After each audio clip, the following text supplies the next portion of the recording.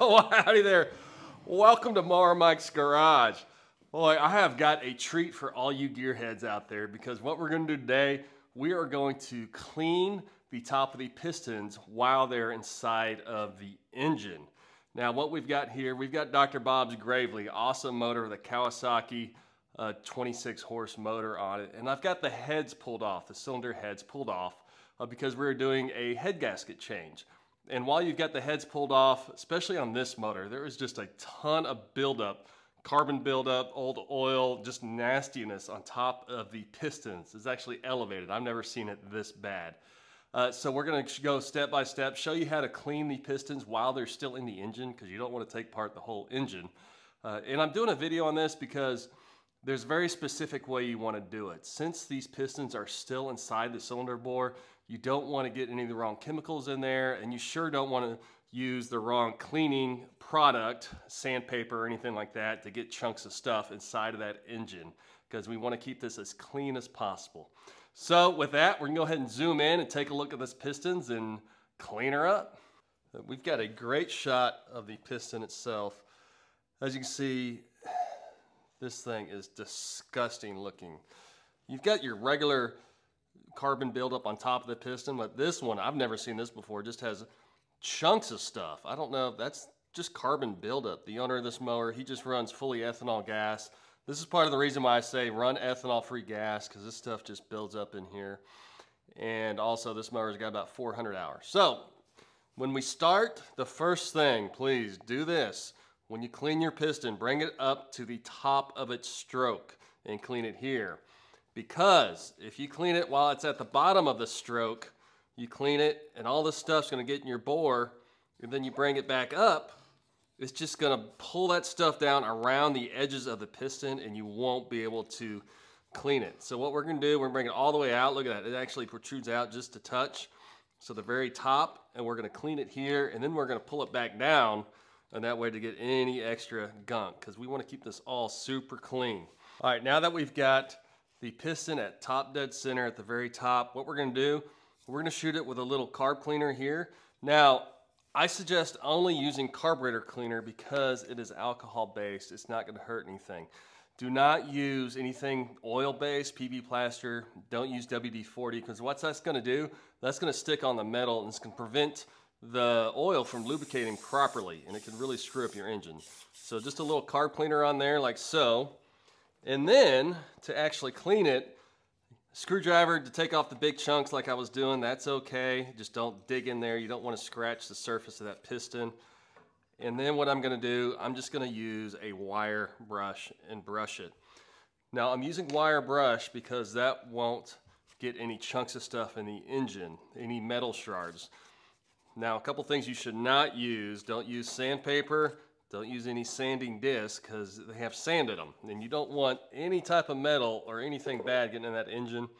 Also, don't use any of these flapper disc or emery cloth, the 3M red type stuff because there's actually aluminum oxide built into these discs and you don't want any of that dust getting in there and getting past that piston ring because metal and engines just don't work. So what we're gonna do, we're gonna use our, our brush here and just go at it. And just keep brushing, brushing, brushing, brushing, brushing, brushing. Hit it with a little, a little more carb cleaner and brush away. Again, make sure it stays at the top of its stroke and brush and then use your, your screwdriver to get around the edges. So I'm just gonna spend a little time on this, cleaning this up, and we're gonna come back in a minute and see what she looks like. Okay, so I'm back about 10 minutes later and you see we got a beautifully clean piston. Uh, the majority of the work actually was done with my screwdriver and then I used the wire brush to clean it up afterwards. Now that you've got your piston clean, also at the same time, make sure to clean the surface of where your head gasket is going to go on top of the cylinder right there just to make sure this is all perfectly clean for your new head gasket going on there. All right, now we're not done yet. Next, what we need to do, we need to draw the piston down into the cylinder right there. Because as you can see, a lot of that stuff is along the edge right there. And we want to go ahead and first just wipe it off and get any type of gunk out of there. As you see, we still got some gunk. Hang on there. All right. Next, I'm gonna go ahead and hit it with a little car cleaner around the edge, like so. All right, now we're pretty clean here. So what I'm gonna do, I'm gonna let it go all the way down. Again, clean it in here a little more. Bring it all the way up. There that, we're gonna do another stroke. That way it picked up anything else. Bring it back down and clean it again. Just go ahead and give it a wipe, a little tiny bit of stuff. All right, so I think we're pretty clean now. What I'm gonna do next to prep it, you always wanna put a little bit of oil on the cylinder wall. For me, I like this Royal Purple Max Tuff Synthetic Lube. It's an engine lube, uh, an engine building lubricant. We're just gonna put a little there and just go ahead and lube her up. Go around the edge. Da, da, da, get your finger in there. And what we're doing, we're prepping it for the first start. All right, now we got a little lube in there. Go ahead and pull it back up. And sometimes the lube will catch a little bit also. So it's a good idea to go back in here, clean the lube, and then go in and lube again. And make sure when you lube it, don't get any on where the head gasket, the mating surface. So don't use a whole lot.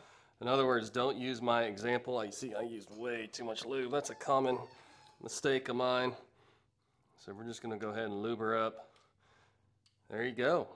And with that, we have got ourselves a clean, clean piston, and she's ready for the head gasket.